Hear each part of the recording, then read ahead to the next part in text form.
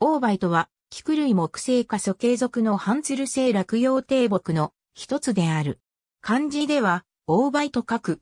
素形などとは違って、花には香りがほとんどない。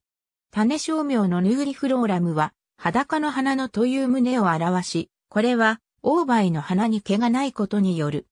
漢名は、迎え遥か、英名は、ウィンタージャスミンと言い、そのどちらもが、オーバイが他の花に先駆けて咲き、そのありさまが、例えて言えばあたかも春を迎えているかのごとく、思わせることに基づいている。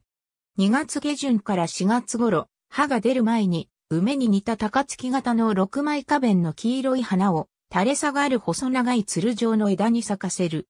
そのため日本では、大梅は、初春の季語とされている。高さは1メートルから2メートルほどになる。実がならないため、挿し木か、株分けをして増やす。生薬として、花は飲むことによって解熱や利尿に用いられ、利尿には1日あたり 3g から 6g の乾燥した花を0.4リットルから0.6リットルの水で半量まで煎じて3回に分けて服用するという。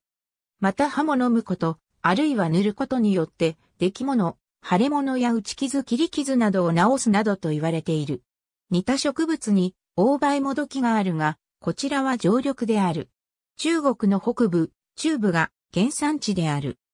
江戸時代、1695年の伊藤伊兵による花壇地金賞に、大梅、花形梅花のごとく黄色なりとあることから、日本にはその少し前の17世紀、寛永年間から元禄時代初期にもたらされたと考えられている。ありがとうございます。